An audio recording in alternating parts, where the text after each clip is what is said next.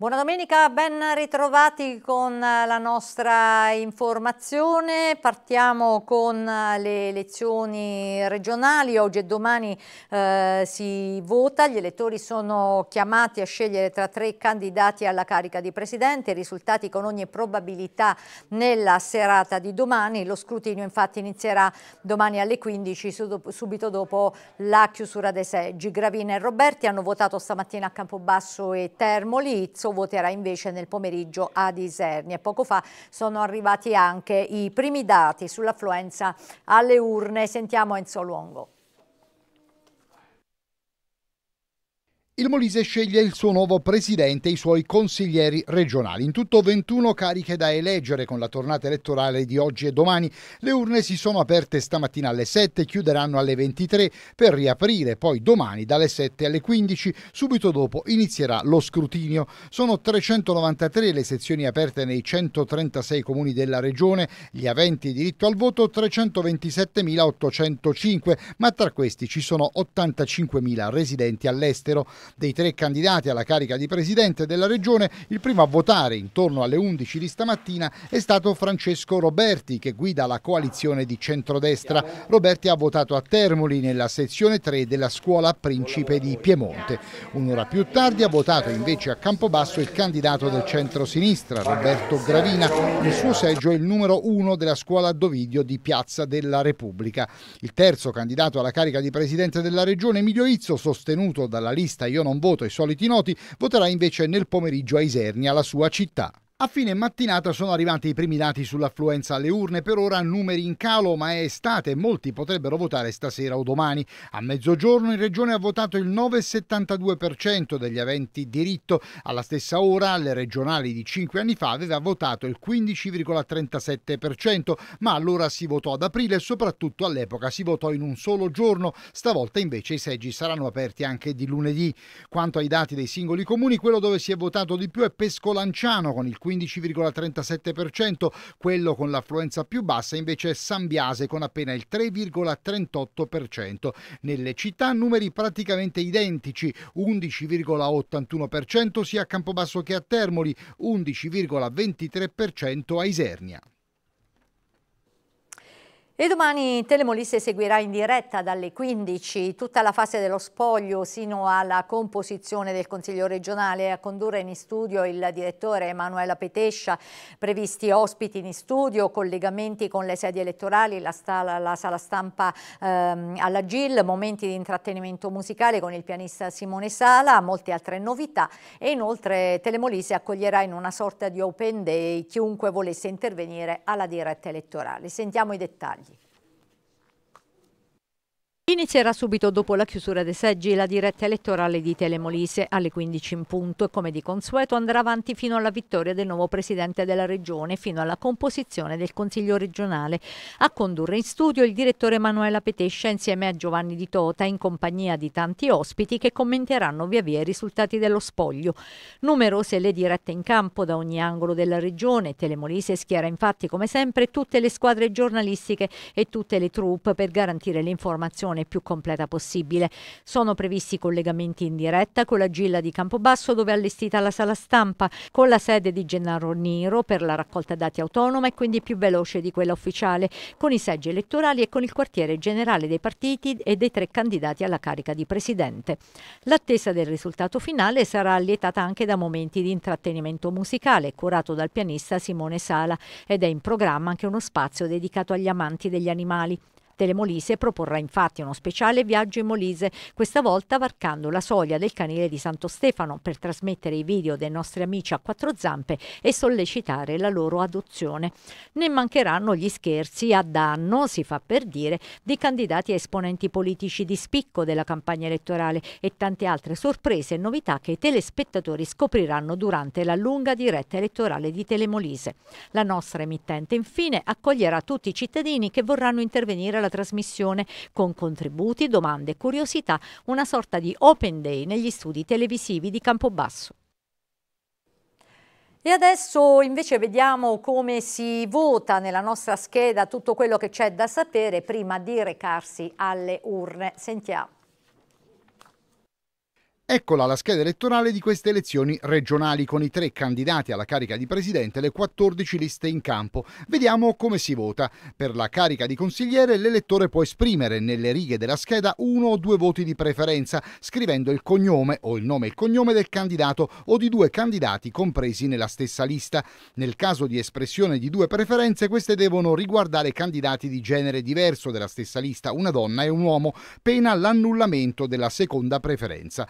Ciascun elettore può a scelta votare con modalità diverse. La prima ipotesi si può votare solo per un candidato alla carica di presidente, tracciando un segno sul relativo rettangolo o simbolo. In tale caso il voto si estende a favore della lista singola oppure a favore della coalizione di liste collegate al candidato presidente. Seconda ipotesi, si può votare per un candidato alla carica di presidente tracciando un segno sul relativo rettangolo o simbolo e per una delle liste a esso collegate tracciando un segno segno su una delle liste. Terza ipotesi, si può votare a favore solo di una lista. In tale caso il voto si intende espresso anche a favore del candidato presidente ad essa collegato. Altre regole importanti. Il voto espresso mediante preferenza a uno o due candidati nella lista senza tracciare poi alcun segno sul simbolo della stessa lista di appartenenza si intende espresso anche a favore del partito oltre che in favore del candidato presidente collegato. Se si vota per più liste collegate allo stesso candidato governatore, il voto è attribuito solo a quest'ultimo. Non è ammesso il voto disgiunto. Il voto espresso per un candidato presidente per una lista diversa da quelle a lui collegate è nullo. Cambiamo argomento, sono stati raccolti circa 26 tonnellate di rifiuti grazie al progetto finanziato dall'Unione Europea Thermolissi Cleaner, ehm, Cleaners, un'iniziativa promossa dall'Istituto Zooprofilattico dell'Abruzzo e Molise che ha come obiettivo quello di ripulire i fondali per tutelare la biodiversità. Francesca D'Anversa reti, funi, legno, plastica, vetro e ferro per un totale di circa 26 tonnellate. È la quantità di rifiuti che sono stati recuperati nell'arco di 5 mesi, da gennaio a maggio di quest'anno, nei fondali del mare termolese, grazie al progetto Thermolisi Cleaners. Finanziata dall'Unione Europea e promossa dall'Istituto Zooprofilattico del Molise e Abruzzo, l'iniziativa ha l'obiettivo di monitorare la presenza di contaminati ambientali e salvaguardare la biodiversità. Queste sono solo alcune tra le nostre tante diversificate attività che portiamo avanti per tutelare la salute dell'uomo, degli animali dell'ambiente del mare e delle risorse ittiche, ha sottolineato Nicola D'Alterio, direttore dell'Istituto Zooprofilattico. Protagonisti del progetto i pescatori della marineria termolese nel ruolo di spazzini del mare che hanno partecipato alla raccolta durante le loro normali attività di pesca e nel corso di uscite mirate. Il pescato rinvenuto e non sottoposto ad analisi biometriche, quindi non necessario ai fini scientifici che non può essere venduto, si tratta di circa 310 kg di pesce, è stato donato alla Caritas di Termoli, alla Onlus Ictus, alla comunità pedagogico-riabilitativa per il recupero delle dipendenze patologiche il Noce e ai frati francescani, una scelta di cui siamo orgogliosi perché ha un importante risvolto sociale e va anche nella direzione della riduzione dello spreco alimentare, ha commentato Dalterio. L'Università del Molise, l'Accademia dei Georgofili e l'Associazione Italiana Allevatori hanno firmato a Roma, al Palazzo del Quirinale, il protocollo d'intesa finalizzato all'istituzione della Giornata Nazionale della Transumanza. È il risultato di anni di studi e ricerche culminati ad ottobre scorso con il convegno Ripensare la Transumanza che si è tenuto nella tenuta presidenziale di Castel Porziano. Con questo accordo, ha detto il rettore dell'Unimol Luca Brunese, si conferma l'impegno e la posizione di rilievo del nostro nostro Ateneo nel panorama nazionale e internazionale su un tema importante che è oggetto di ricerca e di attività di sviluppo interdisciplinare da parte di numerosi colleghi.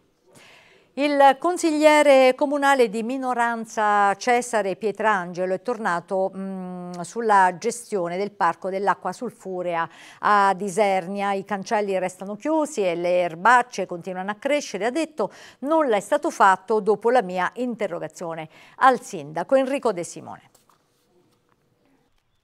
Continua a tenere banco a Isernia la polemica sulle condizioni del Parco dell'Acqua Sulfurea. La questione era approdata in Consiglio Comunale grazie a un'interrogazione presentata dall'ex vice sindaco Cesare Pietrangelo ed è di nuovo Pietrangelo a intervenire sui social. Dopo i tanti solleciti tutto tace, scrive, il parco resta chiuso mentre le erbacce crescono. Non è cambiato nulla e questo lo dico a mio a malincuore per me e per tutti i cittadini di Senna e per tutti coloro che avrebbero potuto già fruire di questo spettacolare Parco dell'Acqua Sulfurea.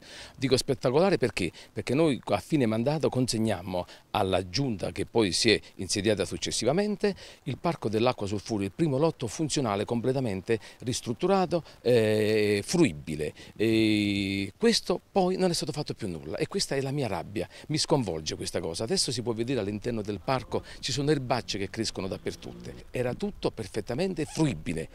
Il sindaco deve venire sul posto e confrontarsi con me sul posto e con gli atti alla mano. Sono pronto a tutto. Io sono veramente mortificato per questa situazione, perché adesso soltanto il poter reiniziare a entrare in questo parco ci vorranno almeno altri 50-60 mila euro, considerato che in due anni questo cancello non è stato proprio aperto da chi invece avrebbe dovuto aprirlo e consegnarlo alla città. In consiglio comunale, rispondendo a Pietrangelo, Castrataro aveva parlato di rallentamenti dovuti sia a problemi con gli impianti del parco sia alla necessità di mettere in sicurezza un tetto, la replica di Pietrangelo. Il sindaco parla di una struttura il cui tetto sta cadendo, ma parliamo di una struttura che sta 50 metri più a valle, completamente divisa dal primo lotto funzionale. Quindi chi fruisce del primo lotto funzionale non può andare verso questa zona che deve essere ancora assolutamente messa in sicurezza. È più a valle, nulla a che vedere con il primo lotto funzionale. Ho detto al sindaco, se non conosci bene la situazione,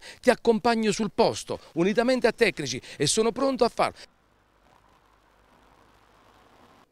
Adesso andiamo a Guglionesi, una cena di solidarietà in nome della condivisione. Eh, la casa famiglia Ictus, Lucia e Bernardo eh, Bertolino. L'iniziativa è stata chiamata Abbiamo sbagliato ma non siamo sbagliati. Hanno partecipato oltre 300 ospiti. Ce ne parla Dalila Catenaro. Una serata incantevole, baciata da un venticello ameno e fresco, che ha accompagnato la cena di solidarietà che si è tenuta ieri sera presso la casa famiglia Ictus Lucia e Bernardo Bertolino ed è stata organizzata da Don Benito Giorgetta, parroco della chiesa di San Timoteo, insieme all'associazione Giovanni XXIII. Un momento di convivialità che è stato apprezzato dai tanti commensali, presenti non soltanto i parrocchiani, ma anche tanti termolesi e amici dell'associazione, che hanno cenato sotto un cielo stellato stupendo. La prossimità è la cosa più bella relazionalmente parlando e la presenza di tante persone ad un invito che è arrivato da persone che hanno vissuto la dimensione e la reclusione è qualcosa di molto bello, importante e incoraggiante per loro. Il titolo di questa serata è Abbiamo sbagliato ma non siamo sbagliati. Ecco, scoprire i lati buoni, i lati positivi anche di coloro che hanno sbagliato è una cosa bella perché si esplorano mondi sconosciuti e si scoprono ricchezze che altrimenti sarebbero rimaste seppellite nel cuore e nella vita di queste persone. È veramente incoraggiante vedere tante persone che hanno preso sul serio il nostro invito e si sono resi presenti. L'importanza della prossimità, così come ha ribadito Don Benito. Il titolo di questa serata è stato Abbiamo sbagliato ma non siamo sbagliati. Scoprire quindi il lato positivo di coloro che dopo aver toccato il fondo della loro esistenza sono riusciti a sollevarsi proprio come la fenice che rinasce dalle sue ceneri hanno pagato e riconoscono il proprio errore. Chi di noi è capace di riconoscere in pubblico il proprio errore? Perché non c'è nessuno di noi che sbaglia. L'importante, dice Papa Francesco, è non rimanere sbagliati, sapersi rialzare, saper ricominciare, saper ridare una dimensione di speranza alla vita. Quando religiosamente parlando Dio perdona, non cancella solo il passato, ma dà un colpo di spugna sul passato e un colpo di remi per il futuro, perché c'è sempre sempre un oltre che ci aspetta e non lo dobbiamo mai dimenticare. Più di 300 persone hanno partecipato alla cena della Casa Famiglia. I pasti sono stati preparati artigianalmente, proprio dagli ospiti della struttura, insieme agli amici della comunità di Vasto. Persone che hanno sbagliato ma che non sono sbagliate, persone che stanno acquisendo, hanno acquisito consapevolezza dei propri errori e quindi si mettono in condizioni di riaffacciarsi alla vita, di riabbracciare la vita. Questo è il messaggio che vogliamo mandare anche al popolo, alla popolazione, che si può cadere ma anche rialzarsi e, e credo che, che, sia, che sia importante da parte della società, di ognuno di noi, di tendere la mano per far tirare su le persone piuttosto che lasciarle schiacciate a terra. E sempre in tema di solidarietà c'è anche quella dei volontari del Molise verso l'Emilia Romagna, in particolare verso le tante persone rimaste senza casa a causa dell'alluvione. L'associazione di promozione sociale Saperi e Sapori in collaborazione con la protezione civile e con gli amici della Fisarmonica ha organizzato Romagna Mia, serata in favore delle popolazioni alluvionate che coniugherà socialità e beneficenza. Sabato 1 luglio a Mafalda in Piazza della Libertà dalle 21 21 i volontari distribuiranno un piatto di tagliatelle condite con tipico ragù romagnolo e un bicchiere di lambrusco. La serata sarà lietata dalla performance di sette musicisti che si esibiranno con organetti e fisarmoniche. Le offerte verranno devolute ai cittadini sfollati a causa dell'alluvione. E, um, Airbnb e Polizia Postale insieme per mettere in guardia i vacanzieri sulle truffe in cui potrebbero incappare prenotando da soli online. Una serie di buoni consigli e di dritte affidate ad un testimonial d'eccezione, Marco Camisani Calzolari, esperto di comunicazione digitale. Sentiamo. C'è chi le vacanze le programma mesi e mesi prima e c'è chi preferisce last minute sperando di poter risparmiare qualcosa o perché ha avuto problemi organizzativi. Molti, per stare tranquilli, si affidano ad agenzie specializzate in viaggi, molti altri preferiscono il fai da te e si servono del portale più conosciuto per prenotare una casa vacanze, ossia Airbnb. Ed è proprio a questi ultimi che ha pensato la polizia postale, visto l'aumento di truffe in cui questo tipo di vacanzieri incappano sempre più di frequente. In collaborazione proprio con il portale online, ha stilato una lista di consigli e di dritte cui far caso se si sceglie questo servizio per la prenotazione per evitare raggiri. Come testimonial dell'iniziativa di Polizia Postale e Airbnb è stato scelto Marco Camisani Calzolari. Esaminiamo sempre i dati dell'annuncio, le foto utilizzate e tutte le informazioni di contatto che sono presenti dentro l'annuncio. Anche le foto delle case dobbiamo cercarle sui comuni motori di ricerca per scoprire se sono falsi. E poi verifichiamo l'autenticità dell'annuncio, verificando l'URL, quello che appare nella barra dell'indirizzo. Controlliamo la validità delle proposte verificando i feedback lasciati da altri utenti e diffidiamo da offerte lontane dai prezzi di mercato. E come pagamento utilizziamo solamente il metodo proposto nella piattaforma ufficiale, non accettiamo bonifici, carte prepagate, non paghiamo in quel modo e sempre occhi aperti perché i truffatori sono dappertutto.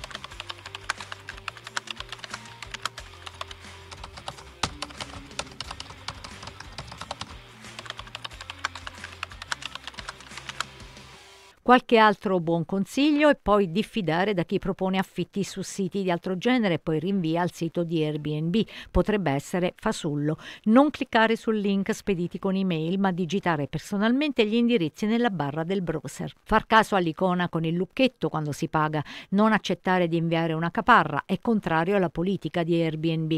Quando si arriva a destinazione e viene proposto un alloggio diverso, documentare il tutto e contattare la piattaforma per avere un rimborso.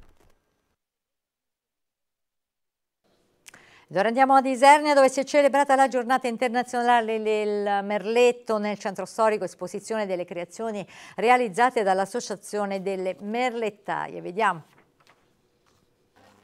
Anche le merlettaie di Isernia hanno partecipato alla giornata nazionale del merletto, giornata istituita per promuovere le creazioni a tombolo realizzate con precisione e pazienza. Dalle prime ore del mattino nel centro storico una schiera di merlettaie al lavoro. Per noi è il terzo anno che partecipiamo a questo evento internazionale. L'International Lace Day è un momento di raduno per tutti i merlettai e merlettaie del mondo. È praticamente una piattaforma che racchiude tutte le foto di tutti i merlettai e le merlettaie che amano partecipare a questo evento annuale. Nel gruppo delle merlettaie anche chi è alle prime armi con i fuselli, la piccola Rosa è la sua passione. Stai seguendo anche il corso, come sta andando? Bene, bene. Ho appena finito una striscia che è un braccialetto. Ma da dove nasce questa passione? Mi piace muovere le mani e appena ho visto il tombolo ho fatto l'iscrizione e ho iniziato a farlo. Da mercoledì 28 giugno sarà possibile smaltire tutte le piccole apparecchiature elettriche ed elettroniche nel presidio allestito all'ex edicola di piazza Insorti d'Ungheria a Campobasso. Una comodità resa possibile grazie all'accordo tra la Servizi Ambiente SPA Campobasso, SEA e il consorzio di recupero Erion. In questo modo sarà possibile il recupero delle preziose materie prime che compongono tablet, telefoni, tv, monitor sottili, smartphone, sveglie, eccetera. La postazione sarà aperta da lunedì al sabato dalle 9 alle 13 e dalle 14 alle 30 alle 17, chiusa giovedì mattina e sabato pomeriggio. Cinque dipinti è il titolo della mostra allestita dall'Associazione Culturale Il Campo, curata dall'artista Renato Marini per omaggiare il maestro Achille Pace in occasione del centenario della sua nascita. Sarà possibile visitare le opere inedite di Pace presso gli spazi della caffetteria 10.5 a Termoli fino al 16 luglio. Francesca D'Anversa. Fili di cotone applicati su tela, dove essenzialità ed emotività si abbracciano, la raffinatezza è il tratto distintivo dell'arte del maestro Achille Pace. In occasione del centenario della sua nascita, il Centro Culturale, il Campo e l'artista Renato Marini hanno deciso di omaggiarlo esponendo alcune delle sue opere nello spazio 10.5 a Termoli. Achille Pace nasce come pittore di paesaggio, in seguito approfondisce l'arte dell'espressionismo e soprattutto le opere e gli scritti di Paul Klee. È l'influenza dell'action painting americana che lo porterà poi ad inserire altri materiali nelle sue opere, come il filo ed elementi tessili. Achille Pace è stato uno dei protagonisti del panorama internazionale dell'arte contemporanea. A lui si deve la creazione del Premio Termoli, istituito nel 1955 alla Galleria Civica, dando così la possibilità alla città adriatica di essere inserita nel circuito dell'arte, con nomi illustri come Fontana e Burri. Renato Marini ha inserito l'esposizione delle opere del maestro in un programma che prevede la presenza di un artista diverso ogni mese fino al 2024. Sarà un continuo di mostre per, per, per sempre, sono, sono, sono commosso ecco, nel vedere queste, queste opere di, di, di, Achille perché eh, certo che eh, meritava di più nella città di Terme. Io nel mio piccolo ho voluto omaggiare in, in, questo modo, con poche opere, ma l'ho fatto con tutto il cuore, l'ho fatto per la grande stima e amicizia che ci lega da sempre. Ricordo il, il, giorno in cui ci siamo conosciuti, nel 1980, presentavo una mia personale presso la Galleria di Omedei di Terme in Corsa Nazionale diretta da Antonio Caruso e quindi Achille eh, mi, ha, mi, ha, onorato dalla sua presenza venendo a visitare la, la mia mostra insieme alla sua eh, compagna eh, di viaggio, la Maria. La moglie di Achille Pace, Maria, in occasione dell'inaugurazione della mostra, ha scritto una lettera a Marini per ringraziarlo e per complimentarsi. Ci auguriamo tutti, scrive, che la tua operazione abbia il meritato riconoscimento e produca gli effetti sperati per te, per Achille e per la nostra società.